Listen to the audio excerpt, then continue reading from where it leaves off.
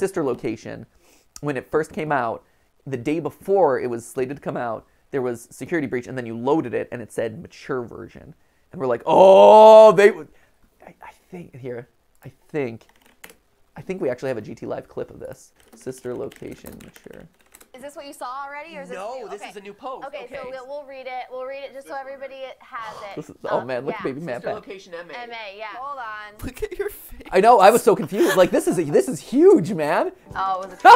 I was so mad. Oh, we got trolled. kidding me? This is the equivalent of getting so- rickrolled on the Are you kidding? It was so good. It was so Damn good. it! The chat. Was, I, I was floored.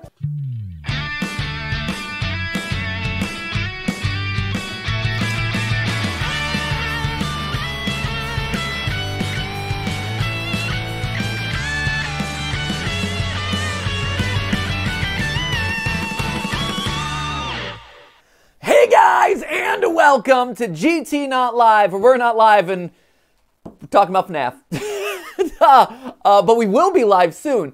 And uh, this is the first thing that I should call out at the top of today's episode is the fact that for those of you who missed it, we recently did a Five Nights at Freddy's, like our third security breach theory in our uh, tetralogy. We uh, it, I originally envisioned it being four of them, uh, or I originally thought it would take like three of them to wrap up all of Security Breach, but then it ended up getting extended a bit. So we have four episodes uh, of Game Theory all about Security Breach. The fourth one is coming out on February 19th.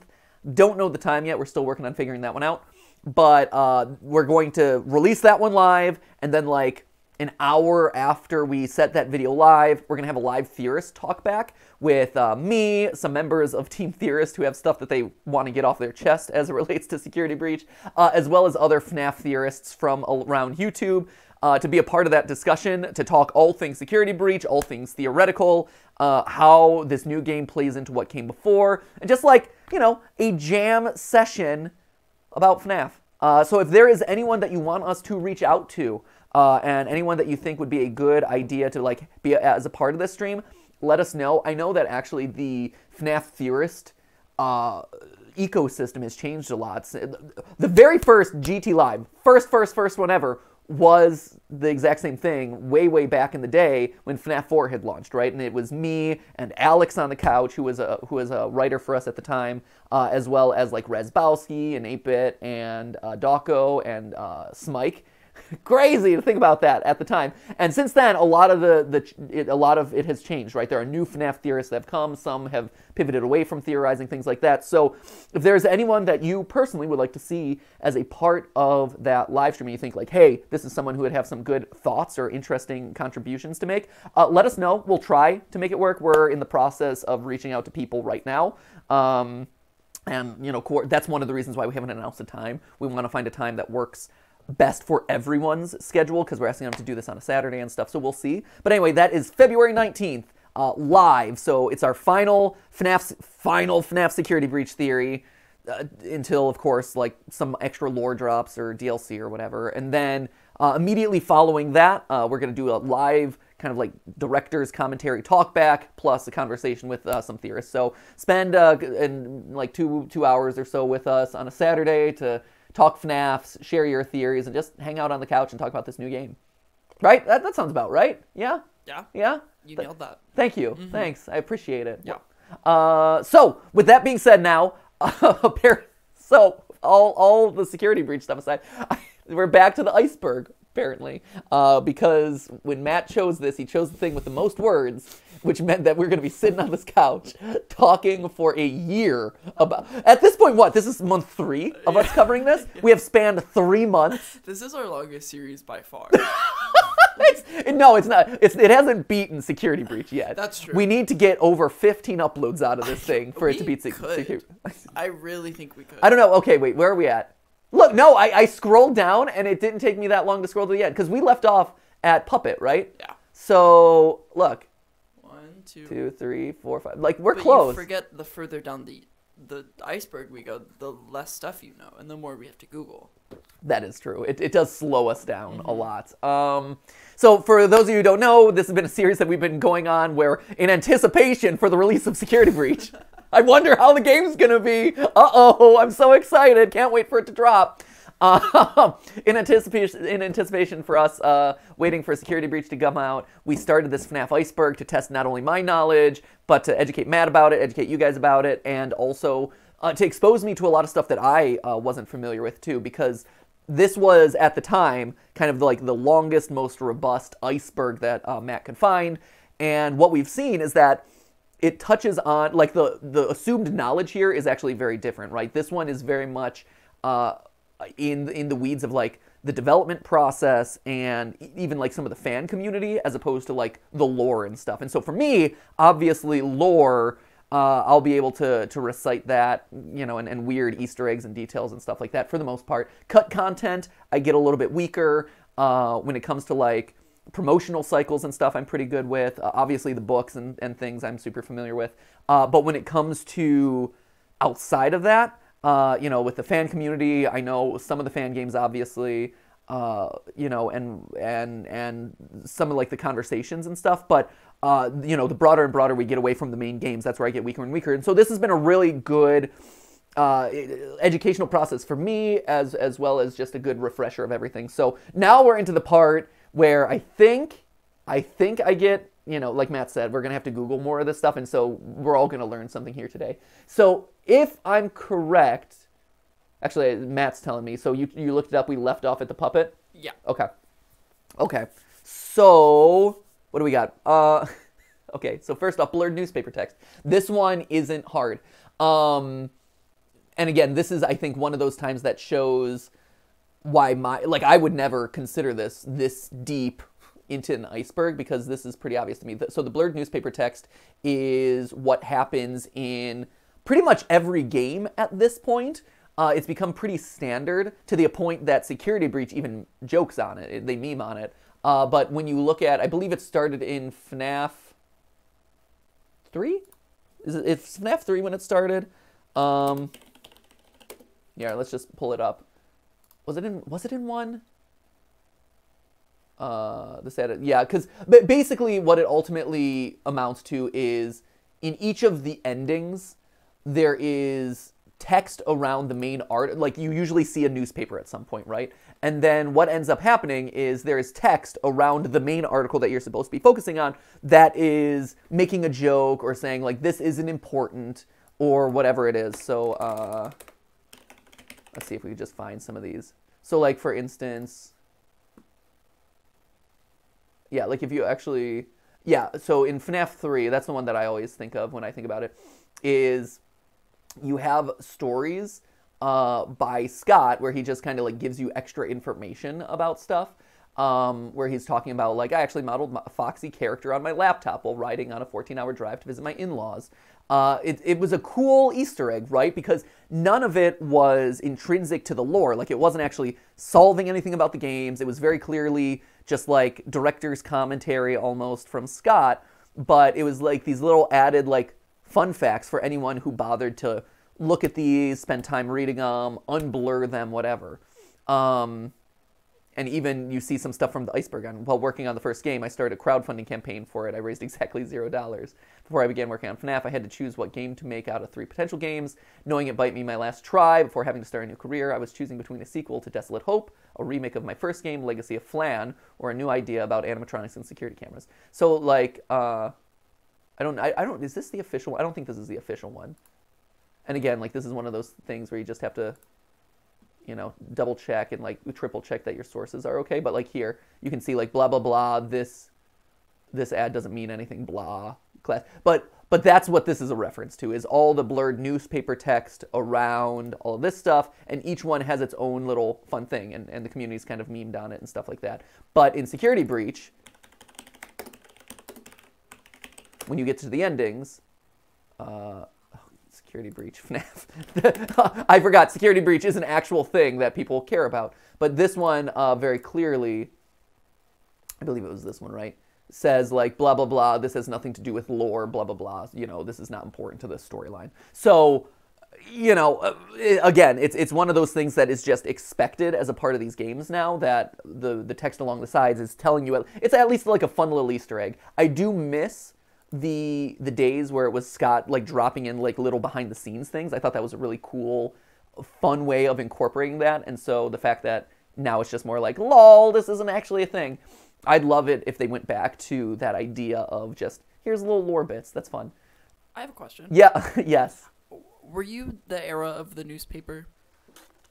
Was I the era of the newspaper? Like, Like, were I- I- Matt, newspapers have been communicating information to the masses for more than just an era. were you around when newspapers? I remember the paper boy on the corner saying, "Hear ye, hear ye." That's exactly what I'm asking. yeah. Yeah. But how old do you think I am? Like, like we're like. My little page boy. Was I a newsie back in the day? Well, because I have really early memories of the king my, of New York. of my parents reading newspapers. Yeah. But like, by the time I was like five, newspapers were obsolete. Sure. Yeah. Um, no, my, I mean, my dad read newspapers all throughout my childhood. Yeah. Uh, like we got the daily newspaper, Uh-huh. and my and and I would not read it, but I, he would always leave out the comment. I, I my morning routine every morning before I went to school Mm. Yeah. was I would read the comics. I would, you know, if there was time, I would maybe do like the jumble or like the crossword or what, like the, the little word games that they Mm-hmm. include in there. And then usually it'd be time to go to school. Mm. And so like as I was eating my cereal, I would just like do that thing. And my dad knew to like leave it out, right? Um, That's and, sweet. and yeah, and still to this, and, and still to this very day, once a year, our local newspaper, the Plain Dealer, in Cleveland at least, um, at the end of the year and at the top of the next year, they do a massive, a massive, massive crossword that is literally two pages wide, uh, 600 plus clues. It's not hard. Mm-hmm. Yeah. It's just, it's like a year recap crossword, and it's really fun. Um, and so Steph and I will do it, and my dad will save it for us so that we can do it, and then the next week he'll give us the answer key if we need it. But you know, That's so nice. yeah, it's, it's so pleasant. Yeah, it's it's cool, and so it's like a yearly tradition for us at this point. Um, but no, I think if you're talking about like the era of newspapers Mm-hmm. and like hardcore reading of newspapers, it was probably like the generation before my parents. Like my Mm. grandparents were probably like in the thick of newspapering, Yeah. and my parent, and I think like that those two generations were really big into that. yeah. Because like the, I'm trying to think like the William Randolph Hearsts and stuff of the world was like what 19, because that was all. You're also talking like World War One era, like Yeah, it's interesting. to me 20s, that, 40s. Like, FNAF relies so heavily on newspapers. it is interesting, right? Mm-hmm. Well, but also FNAF. I mean, it's not that old, but It's also like a lot of the 80s, right? well, right. FNAF is taking place in a lot, or at least most of them up till newer entries, right? Is like, you know, yeah, 80s, 90s. Mm-hmm. Um, I think FNAF three, like you're right, FNAF three, which is I, I I believe takes place in like 2020 something or other. Like that one feels oddly out of Mm-hmm. date now, where it's like there's a newspaper at the end. It's like no, there wouldn't be, you know, or maybe there would be, and but it's it's it's out of date What would it be instead? Like a tweet? tablet comes right. I mean, it could be. It could be a tweet. It could like oh, burn down. like it's hard. It's hard to do hidden blurred text on the sides if it's just a tweet. Um, A cool. BuzzFeed article? BuzzFeed article. Yeah, that's I, honestly that's what it is. A Snapchat story? It's, yeah, that's what it is. Oh, that's a YouTubers commented today. Pizzeria. It, it's a Phil. It's a Phil. De, it's an episode of Phil DeFranco show. Sup? Punch me in the throat if you want to like my video or whatever. what he says? Yeah, his uh, he learned that by telling people to uh, like this video or I will punch you in the throat. Oh, that's pretty uh, that it, it increased the analytics. Uh, it increased the number of clicks on like because this is a different episode. I like that we've done one, man. You're you're really angling for that 15, 15 mark uh, upload. But uh, no, uh, this is something that we talk about in our consulting a bunch all the time, which is everyone is so desensitized to like like, comment, and subscribe. First, Yeah. that's the worst thing. You you call for one thing, subscribe, watch another video, like this video. Don't, but you know whatever. I, I mean, you should like this video, but when it comes to things that are most beneficial for your channel, getting them to watch another video after yours is like the best thing. Uh, but uh, because people are so desensitized to this stuff, doing things that catch people's attention Yeah. is what is most effective. Lick that subscribe button, bite of 87 that like button or whatever, you know. And so for Phil, he was just experimenting, I think, one day, and he's like, uh, if you don't do this, I'll punch you in the throat.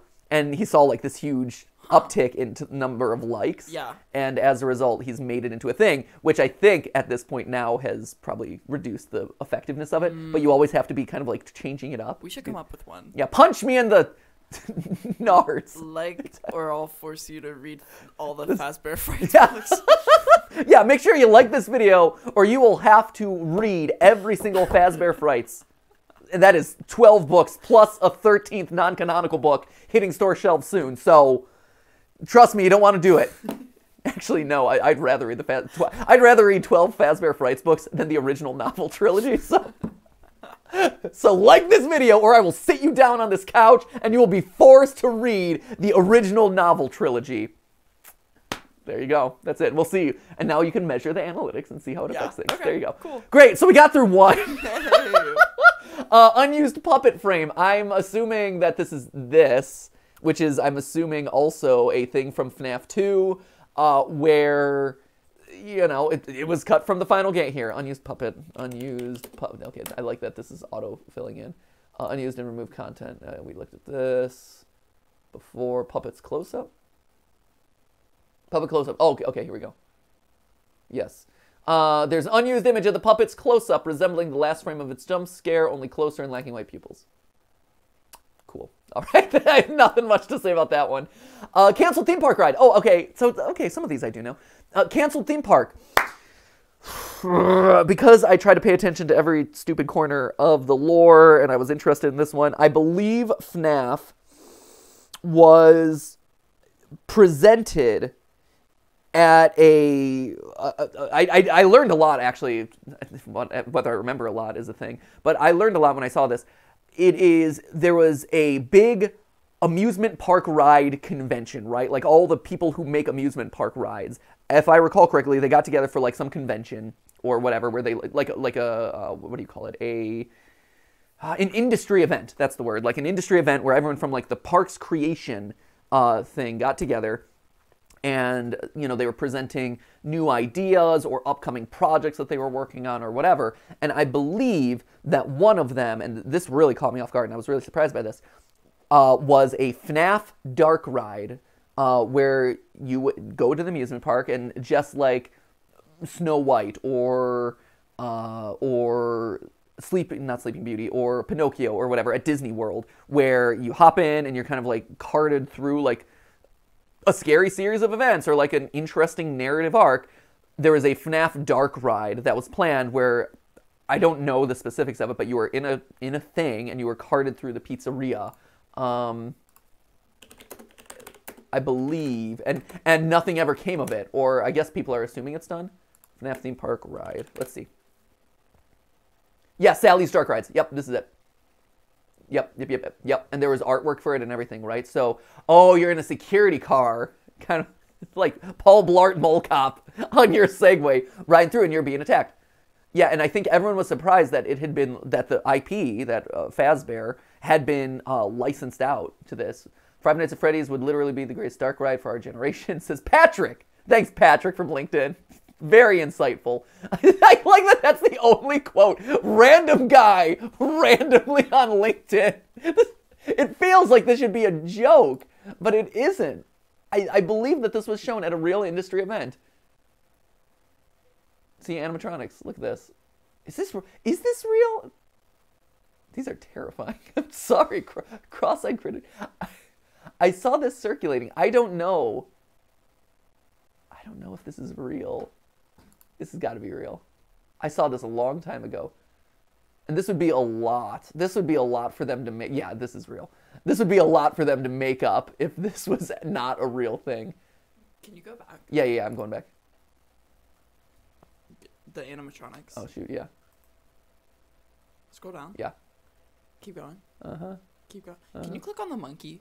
This this one right, the orangutan. Yes. That's not a monkey. That's an orangutan. Okay. Is it? That's a, that's a bonobo. Uh. oh, it's King Louie. Right? This is this is either this is King Louie or a ripoff of King Louie. Well, it's an orangutan. Orang- orangutan? Yeah. Orangutan? Yeah, which is from oh Port Port Ad- Adventura Worlds Anchor Anchor Splash. Huh. But no, I mean like this is very reminiscent of, of Jungle Book, Yeah, right? So I'm getting that too. yeah, King Louie. Huh. Well, this was fun. This this is cool, man. But yeah, no. So I, I knew Sally Dark Ride, and this, yeah, this has to be real because this is so much. I just look at that list of things that they're like, here's our animatronics. I'm like, these look like they were just Google image searched and dropped into here. But no, this would be a lot for for a fake thing. Uh, but yeah, no, I remember that there was artwork for each of these things. Like here was, you know, this is 2016, Scott, and this was after the Vegas attraction, I believe. So they did the dark room slash like uh, haunted house experience in Vegas. I love this idea of a purple clad security guard welcoming people into it's it's actually I think it's brilliant. I think that it is the embodiment of what FNAF 3 is kind of meant to be, right? A Fazbear Frights style attraction where you are going through the lore of this horror series and of the game. Like I think I think it's brilliant. So it looks like you're starting from FNAF 1 and there's even like first night and 12 a.m. It, it's really cool, and it seemed like a fully fleshed out idea. I don't. I guess people like they weren't able to sell it. I'm surprised that I guess the movie rights are at Blumhouse now, but I'm surprised. I keep expecting it to show up at like a Universal Horror Nights. Um, like I don't see FNAF being a permanent attraction at any amusement park like I don't see this being a permanent thing, but I absolutely see it being a horror maze that shows up at like a Knott's Berry Farm or a like a Six Flags Halloween Weekend sort of thing, or like I said, Universal Studios uh, Horror Nights, Halloween horror, Hollywood Horror Nights. Like I think it makes perfect sense because it's a different aesthetic. You have like the scares. I, I think it would it would crush. I think it would make so much sense. Um, I think it would do really, really well. Uh, also, this guy looks a lot like Ryan Reynolds. Doesn't he? I'm not seeing it. Okay, great. Well, you, have you, do you know who Ryan Reynolds is? I know that he's not in the movies that you tend to watch. I saw Deadpool. Great, okay. Where his, his face was covered or, you know, heavily burned throughout most of it, sure. Uh, and then Foxy jumps here. I mean, it makes, it writes itself, right? I think this is cool. I think it's a cool idea. Interactive IP. We're a group of six security, okay, so here's the story. We're a group of six security guards in charge of patrolling the Freddy Fazbear Pizza restaurant. During our shift, we find that we're being stalked by a number of deadly animatronics roaming the buildings. Uh, they're infused with the spirits of dead children. Uh, the remnant that has been infused uh, with their agony of their death has been uh, put into their endoskeletons, and it's our job to, you know, it's our job to put to, to touch random uh, tiles on the wall in order to spell out happiest day. At which point, then we set their spirits free. But then they come back, uh, and then two spirits possess one of the golden animatronics, which then releases. But one tortures the security guard at the very. It's a very simple story. Like you can convey this in a ride very easily. Um, our mission is to defend ourselves. And maybe that's for, uh, for the FNAF 2 ride. Our mission is to defend ourselves against the animatronics and try to stay alive until 6 a.m. in the morning. Our only weapons are our flashlights, which scare the robots away, and buttons on the dash. Also, it's interactive, and buttons on the dashboard of the ride vehicle that give us the ability to shut doors. Very cool. We're always made aware of the risk of either running low on battery power in our flashlights or having to conserve power so we can operate the doors. Sometimes your team survives till morning, sometimes they get you. I think that is great. I think that makes so much sense. Yeah, that's kind of genius. Right? Isn't it? And and you can see how this isn't like it wouldn't be hard to do. You've Yeah. seen other rides doing this exact sort of thing, right? It's it's like a, a Buzz Lightyear Astro That's Blaster. Exactly what I was thinking about. Yeah, pew pew pew. You know, Yeah. shine the light. It, And then like at the end, you're you're destined to run out of power. So Right. There's a big jump scare. yeah, it, it ends the big finale of like ah, and then it's like okay, and you're done. Yeah. Woo, you scoot away. And then you exit into daylight. Right, exactly.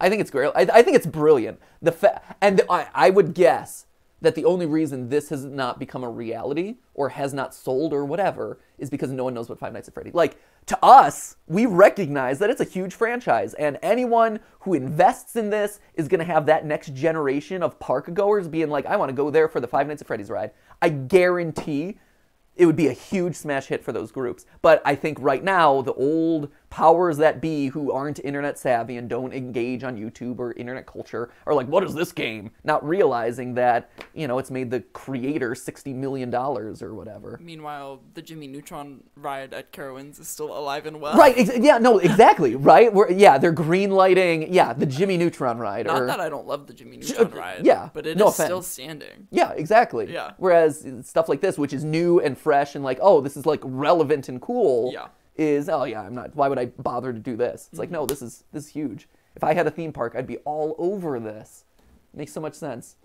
I uh, also rebranding a Chuck E. Cheese as a fine like again, the fact that no one has done this stuff is huge missed opportunities for people. I'm just saying, Chuck E. Cheese, get on that. Okay. Uh, so we've gotten through three. uh, let's see. Uh, let's uh, let's see. We can knock out some of these. Okay. Uh, these will take a minute. Uh, sister location mature version. I believe this was.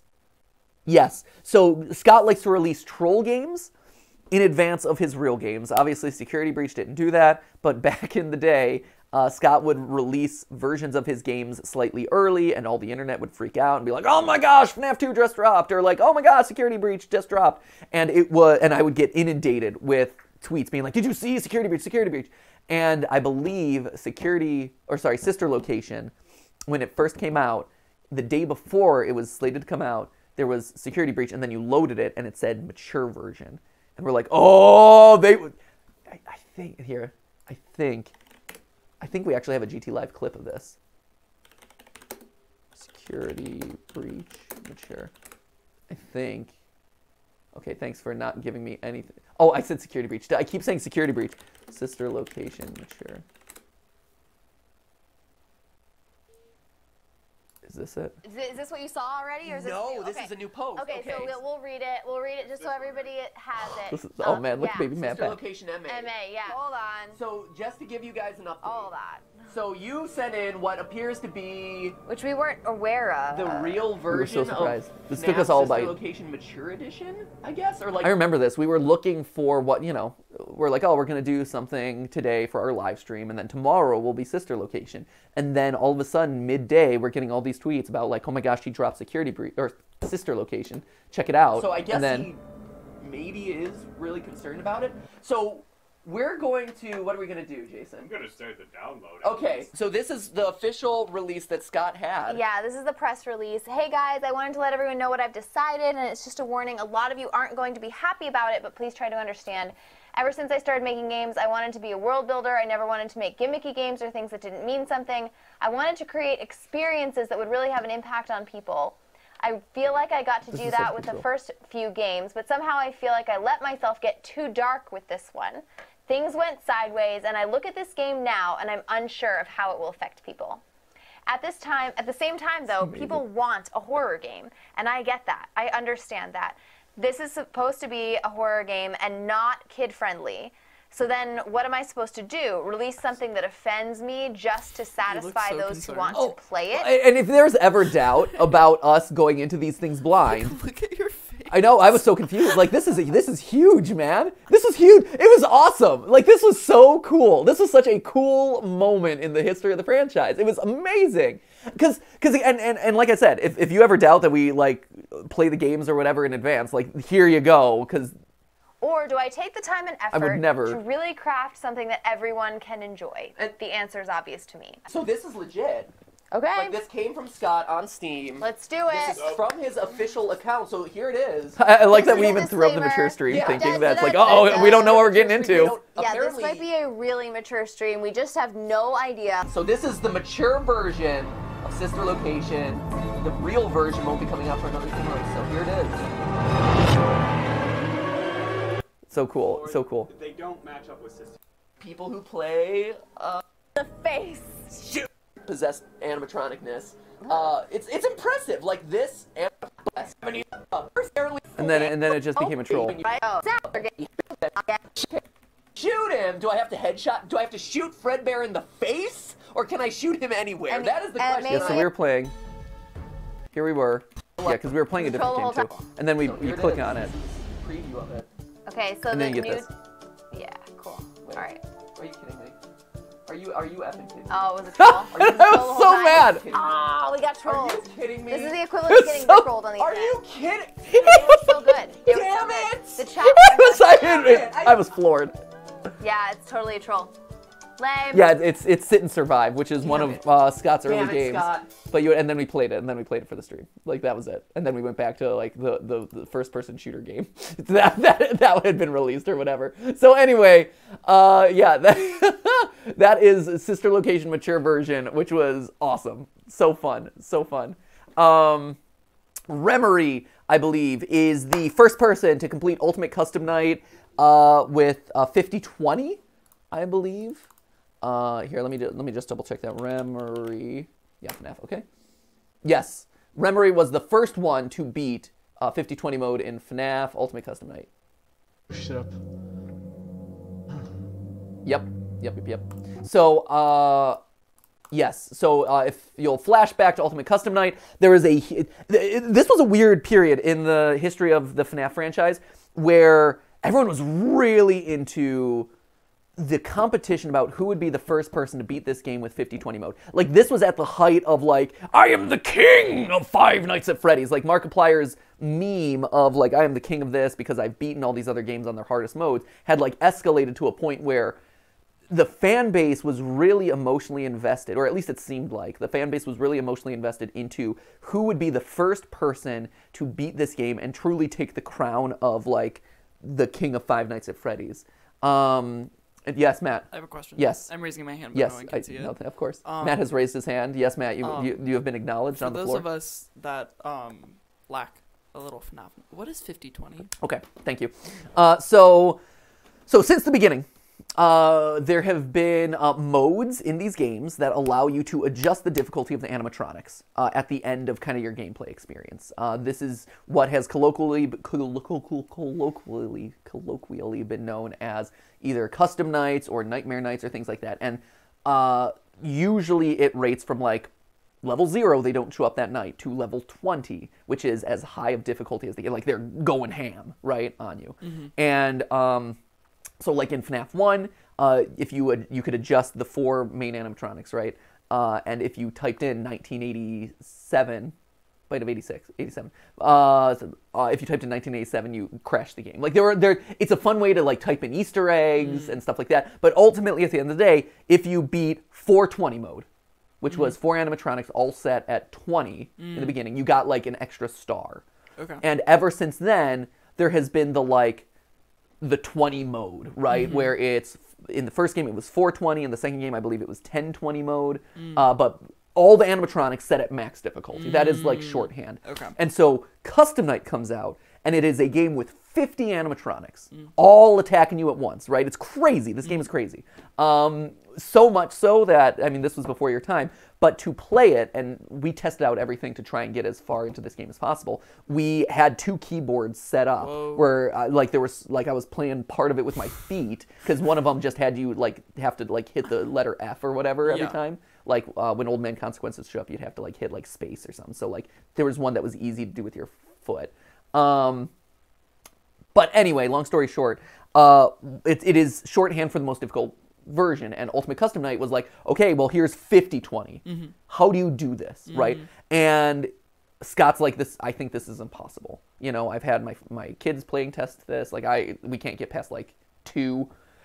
I think this is impossible, but the community's like, it's, excuse me, it's not impossible. Whatever, we're gonna do this, and so it became a competition to see who. And and Markiplier, whenever he would beat the hardest version up to that point, he was always like, I'm the king of Five Nights at Freddy's, uh, because you know he had beaten the hardest mode and he had consistently been able to do that. Um, and for whatever reason, at this point in the series, everyone was really invested in who was going to be the first to do this and cla claim the crown or whatever. Um, and so you had Dawko was one who was like going hours and hours, like I mean, round the clock doing this thing, trying to try, trying to churn it out. Um, and then you also had uh, DJ Sturf, and I think this is where the community first really became aware of DJ Sturf, uh, who wonderful guy and who you know has been on our St. Jude live stream in the past. He's he's incredibly talented. He's been doing speed runs of Security Breach. I've been watching him because I think it's fascinating to watch him break the game and figure out all these hacks and stuff. Um, he's also one of the like tends to be one of the beta testers for the games before they actually come out because he's just very smart about the way he's looking at like picking apart the game. Um, but it, it became like really Dawko versus DJ Sturf, and then I, I don't know where Remory fit into that. Uh, but the community was like, who's going to be, and, and they felt like, and, and they were starting to attack each other, and like it, it got kind of ugly in a way that I think everyone after it all ended take, took a step back and they're like, hey, I think we got a little out of hand here. And, and again, forgive me if I'm speaking out of turn, but at least from an outsider's perspective, who was looking and checking in on this every once in a while, that's what it seemed like the general consensus was to me. Um, but at at a I, I believe Remory came in first. I think then it was like DJ Sturf and Dawko ended up I think working together to figure it out. And then at this point, and then this was also Doc, or this was also Markiplier being like, "I'm not gonna beat this game. Like this is crazy for me to try and do. You know, there are other people who should be the king. Let's let's end the meme." And like at this point, it's kind of like done, right? Um, so it was an interesting time, but uh, yeah, it, this was all about this like push to to beat this almost like impossible mode. Uh, but then you beat it, and that's when you unlock the twitching golden Freddy, uh, you know, descending into the darkness because he refuses to pass on uh, and refuses to kind of let go of William Afton's soul. So it actually it was one of those moments that actually revealed a, a big part of the lore. I think you you can actually reveal it at like maybe two degrees less difficulty than that, but at that point, like if 50 animatronics set at 48 mode or that's stupid, so whatever. But uh, but anyway, so that's that's the story behind that one. Um, plushies take Manhattan. this is this is a failed concept of the FNAF movie, and I don't know if it was a joke or not. Uh, but last year, last year Scott gave an update as far as the FNAF movie, which I, I at this point I don't think is ever going to happen. Uh, I think there's too much like creative challenges with that. I, I don't know. Who knows? Um, or, or if it does happen, it'll be long past when it should have happened. Uh, but Scott came out with a Reddit post that was like, "Hey guys, I've got news about the movie. Sorry." Um, and everyone's thinking like, "Oh, the movie's been canceled." Like we keep expecting it to be canceled. And then he goes through this list of here are all the different versions of the movie that I passed on. Like I didn't want this to happen, I didn't want this to happen, I didn't want this to happen. I think one of them was Plushies Take Manhattan. And I don't know if it was joke or not. It seems like it should be a joke. Uh, let's see if I can do this. Uh, Reddit, FNAF movie, Reddit, plushies, uh, plushies take man. Let's see. Uh,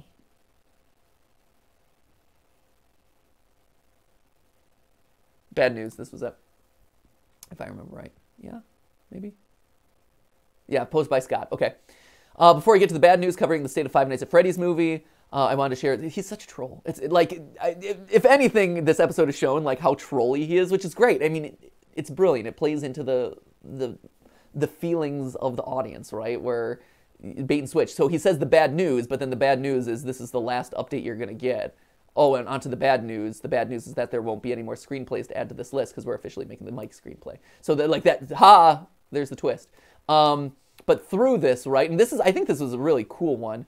Um, so he goes through all the list of the different scripts that he rejected from the studios, right? So the F screenplay, group of teenage troublemakers break into Freddy's, chaos ensues. It's pretty basic, yeah, pretty basic setup.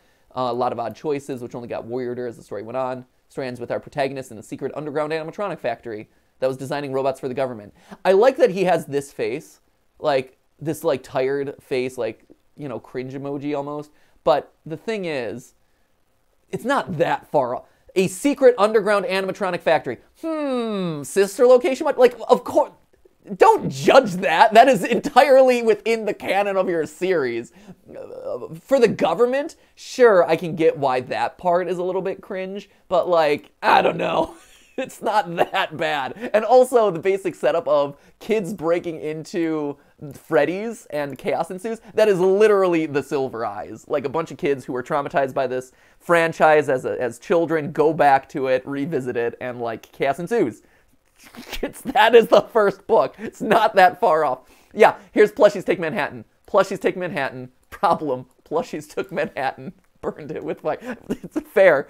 Uh, in case you didn't know, these th- i mean this is a really cool post I, I always thought that this was fun i don't know how many of these are believable i think they for the most part were I, it almost prompted me to do a film theory about how maybe one of these got made into either the banana splits movie or uh, willy's wonderland um, I just didn't have enough evidence to support that, but I always want to make a film theory about this. Uh, the random Charlie screenplay, Charlie and her friends sneak into Freddy's after hours to retrieve a lost. Again, this is very much similar to the first novel, um, except for the lost toy bit. Although sharing names and familiar characters, the characters had nothing to do with the game and the book counterparts. Again, he says that like he's poo pooing it. Spoiler alert, Scott, you have used the name Jeremy like 600 times in this franchise, so using the same name in multiple iterations is not all that revolution. Like that is what you have infused into the series. Uh, while featuring familiar elements, it seemed too loosely based on the games. See how sure, okay. And lost a lot of impact because of it. Felt like a random bag of FNAF elements. Hmm. Silver Eyes screenplay. All of these are the Silver Eyes. Uh, we worked on three versions of a Silver Eyes screenplay over the course of about a year, trying to find the right approach to the story from the first book. These were the first attempts that I made to write a screenplay, and then after realizing it's difficult to find someone who understands the lore. Hmm. There's a lot that could be said about this post.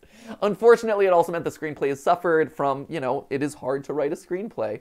Um, there you go. So focus on the screenplay from the games and not from the books. So this is, I think, an important quote that if a movie ever does happen, I will probably come back to cite because I think this is. I ultimately decided to focus on making the screenplay from the games, not the books. And then people be like, "But it's a movie. It's a different."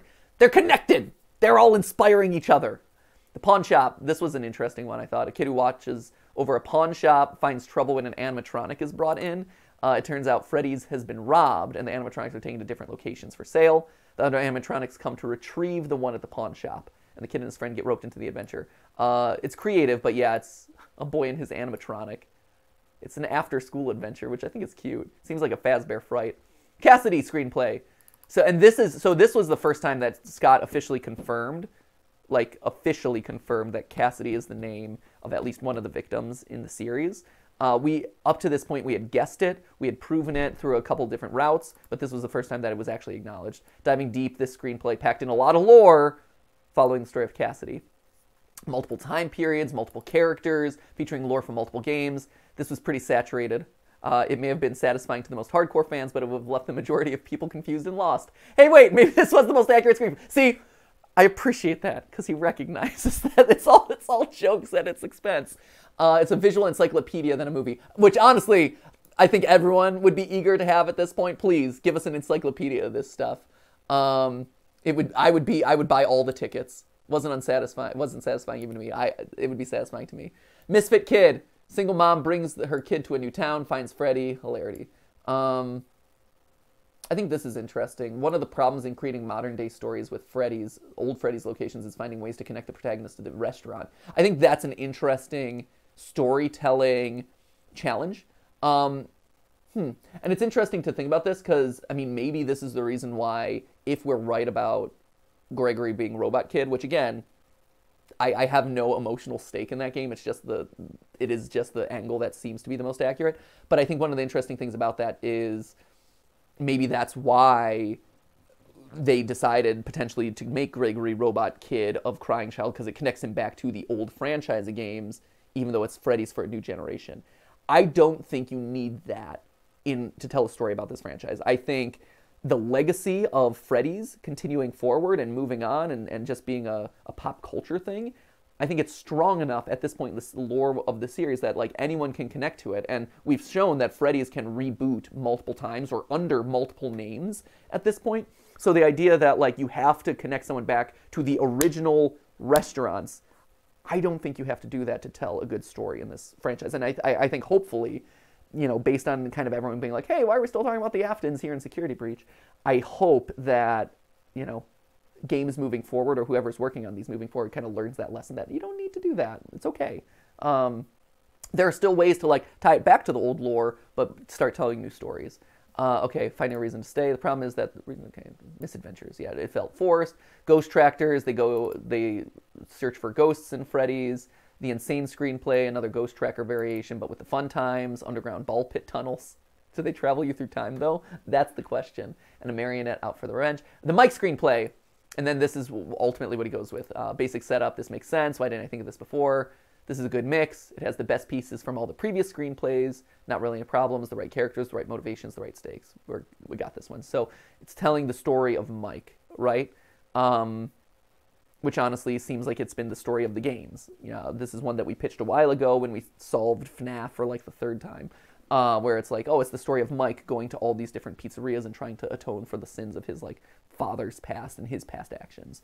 Um, but yeah, so anyway, if, if a movie ever happens, presumably it is the story of Mike. So that is the unused. Uh, that is the unused uh, plushies take Manhattan and all the subsequent uh, all the subsequent uh, screenplays. FNAF in real life. Uh, let's let's burn through these because I know at this point we're probably already over time, right, Matt? Yeah. Okay, great, cool. Uh, real quick, let's just get through this chunk. we'll. Oh, we're gonna hit 15, Matt. We're gonna hit 15. These were interesting ones, though. To be fair, these were really interesting ones. That it wasn't just like, oh, it's a screenshot or whatever. Like this is actually there's a lot of other stuff connected to all of these. Um, FNAF in real life is kind of the trend that you've seen, uh, especially on Twitter or on Reddit, where people find like you know, old photos of pizzerias or like Chuck E. Cheese's, or they pull old um, operation guides of animatronics, or they create their own. I'm thinking that that's what this is. FNAF in real life, this idea of taking the concept of these games and translating them to real life circumstances. Uh, they've manufactured newspaper stories about it. They've manufactured uh, headlines. They've manufactured animatronic guides, creepy photos of people with like old school animatronics. Uh, I think that, that that's that what that one's talking about. Springtrap posters. Uh, I'm thinking that this is uh, FNAF. I think this is the just there were a couple of random. Yeah, I, I figured this would give us a bunch of merch. Um, I think these were just Easter eggs in FNAF 3. Freddy knows. No, I don't want Day- Dying Light 2. Stay human. No, thank you. Pass. I, I don't know. I've, I have no idea. Uh, sometimes the posters in Freddy's will be replaced with posters of Spring Bonnie. Yes. So I believe that these are references to the uh, images where you see different versions of Springtrap ripping open his head. Um, similar to like the posters that would show up of Golden Freddy in FNAF 1 all the games have like posters that like randomly appear on the walls. And I think this one was where you started to see Springtrap pulling open his head and you could see like the skull underneath and it was like, hey, there's a human body in there. Again, this was way back before people actually knew that it was possessed and that William Afton's inside and this is, so that was a big moment of, hey, there's something inside the animatronic that's still alive and look, there's like flesh and uh, tendons and stuff in there. That's weird. Um, so I think that that's what that's a reference to. Hidden Biddy Babs and Minireenas, and Reversed Bibs. Uh, I think this is I don't, Reversed Bibs, FNAF. Not I don't know in the Chica. Okay, in the FNAF World trailer, Chica's bib is backwards. Okay, so there it is. See, some you got to talk about. Some are this. okay. But but here it is, friends. What is the lore implications of a reverse Chica? Could it be a mirror world? Is is FNAF World actually taking place in the upside down, where everything is the left is right and the right is left? You don't know. Maybe it is. Boom! Blown my mind. Uh, and then lastly, so I'm assuming that there's a couple instances of that throughout the games uh, or throughout promotional material. And then lastly is Hidden Biddy Babs and Minireenas. Hidden Biddy Biddy Babs. I hate that name. And Mini. I'm assuming this is another one that. What happened to the. What happened to the Biddy Babs and Minireenas? Or this is just a lore. Who cares? yeah. Well, I believe I have an answer. The sister location is Mr. Easter Egg, Biddy Babs. Hmm. Sometimes on the left side, Minireena. Now, what do I bring these up? Because they, they escaped. Okay. Uh, it is a good question. I've never really given these guys much thought. Honestly, William's purpose for making Biddy Babs and Minireenas probably should think about that at some point. Put that on my list of like FNAF angles that I have not covered in 200 years. Um, where do they go? I'm, I'm assuming that's just yeah. Hi, I'm peeking out over here. Hello. Uh, trivia, probably under trivia. Biddy Babs and Circus Baby or Snow White and the Seven Dwarfs. Biddy Babs is one of the only animatronics, not of Rosy Cheeks. Me brighten up the teaser. Biddy Bab has five fingers. Only animatronic to have on a face. Okay. Ah, blah, blah, blah. Although seven. Okay, this is. This must be it. Although seven Biddy Babs were shown in their teaser, only two appear in the game and in the extras menu. Okay. I guess that's it. Voices change. There are only two. There are only two Biddy Babs and Baby's poster, meaning that there's a chance to that there are two, not seven. Okay. I'm assuming that this is it. Yeah, this is. they're one of those ones that I've never been the biggest fans of as far as their inclusion, but also here's the thing, right? It shows that William Afton is getting closer to making humanoid animatronics. Like if you if you look at him, if you look at Baby, if you look at whatever, again, if Gregory is a robot, again, I, I have no emotional stake in that game. I'm just calling it like I sees it and just trying to connect dots into some cohesive narrative. Um, you know, if it, it shows progressively that they were building robots that were trying to get more and more human-like, and so they're a step in that process, right? There it is. Uh, so there you have it, friends. That is another rung of our little iceberg complete. Only one, two, three, four, five more to go. At this rate, we're gonna hit 15. No, next time we're gonna get through all of these. At least these. uh, I'm committed. Next time we're getting through Foxy and Faceless Bonnie. All right. Um, there you go. So, did you learn something, Matt? What you learned today? I like I like wrapping off these FNAF icebergs with stuff that you learned. What did you learn today? Um, I I learned about the theme park, which is really cool. Right, I think so too. Glad to have learned that. Also, the the screenplay post is is a very cool post. Right, isn't that a cool post? Yeah. I that was one of those where it, it was like really like behind the scenes stuff because the, the FNAF movie has bounced back and forth so many times and changed hands and there's been so many canceled and people who left the project and this and that, and you're like, why? But this shows you Yeah, why because a movie is hard. it's hard Mm-hmm. because not only do you have to like make a movie which in and of itself is hard Yeah. but you also have to get people to be comfortable giving you money to make that movie Mm-hmm. and a lot of time those people aren't going to be like yeah I, I mean it goes it goes to the the amusement park ride where like Yeah. the people presumably that scott's dealing with when it comes to getting his movie made Mm-hmm. are people who are like yeah but can't they just be like freddy versus jason or you know Yeah. like they're they're the people who are like just just the animatronics kill people like what the heck Mm-hmm. and scott's like no there's lore here and people are gonna like care about it and there's easter eggs and there's an actual story and they're like yeah but why Yeah. yeah, yeah and, and and i think that's probably one of the big problems that the movie has had is this disconnect of like here's a diehard fan base and scott representing it and the movie studio who's like just cheaply pump out a film you know and i and i think that's probably the drama there but anyway so there you have it, friends. Uh, that is a little one rung deeper on the iceberg. So let me know if I missed anything. Let me know if you have any thoughts on any of this. What movie would you like to see? Obviously, Plushies Take Manhattan was the, the correct option there. Uh, but uh, we will see you in the next video. So thank you guys so much for watching. Remember, it wasn't a live stream, but it will be live on February 19th. So be there. Uh, we'll tell you the time as soon as we know it. And as always, remember, uh, well, I was already wrapping it up with it wasn't a live stream, but anyway, it was a video. Thanks for watching. See ya!